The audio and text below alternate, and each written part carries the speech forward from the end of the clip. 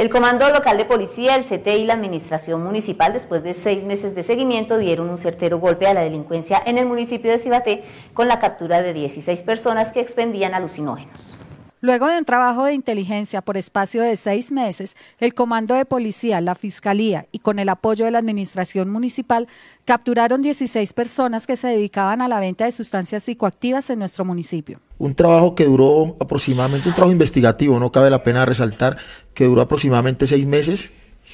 Eh, un trabajo arduo por parte de Policía Judicial, eh, por parte de la Fiscalía General de la Nación, por parte de Policía de Vigilancia.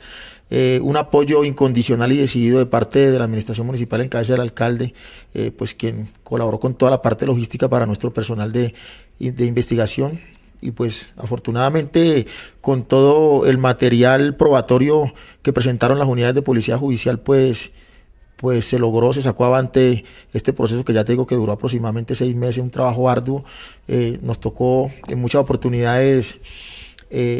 pues como se dice popularmente, darnos la pela a la comunidad, pues un poco disgustada porque no se veían los resultados, pero no podíamos tirar por la borda el trabajo que ya veníamos realizando durante estos seis meses atrás. Un importante trabajo de investigación en el que fue herramienta fundamental las diferentes cámaras del municipio y de la Policía Judicial, quienes continuarán realizando inteligencia hasta erradicar por completo el delito del microtráfico en nuestro municipio, que para nadie es un secreto que este conlleva a otros flagelos sociales como el hurto, atracos, etcétera por parte de Policía Judicial y Policía de Vigilancia continuamos con nuestro trabajo, seguimos eh, haciendo nuestras actividades, vienen otras capturas más adelante. Entonces, un llamado a las personas que se dedican a este tipo de,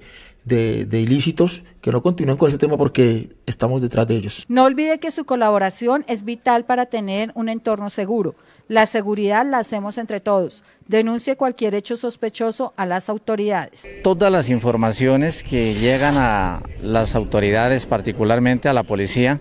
siempre la fuente primaria, la fuente primordial son los ciudadanos. El ciudadano del común el vecino de cada cuadra es el que se da cuenta realmente cuáles son los cambios que se están produciendo al interior de, su comunidad, de su cuadra, de, su barrio, etcétera, etcétera.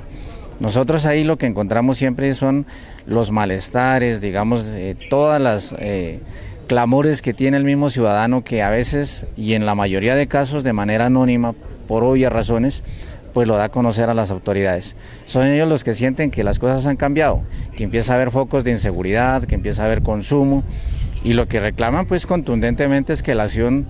institucional sea una sola y es una respuesta efectiva, contundente, sostenible para que podamos garantizar y mantener esos niveles de seguridad y de convivencia que tradicionalmente han sido pues muy buenos, excelentes aquí en nuestro municipio.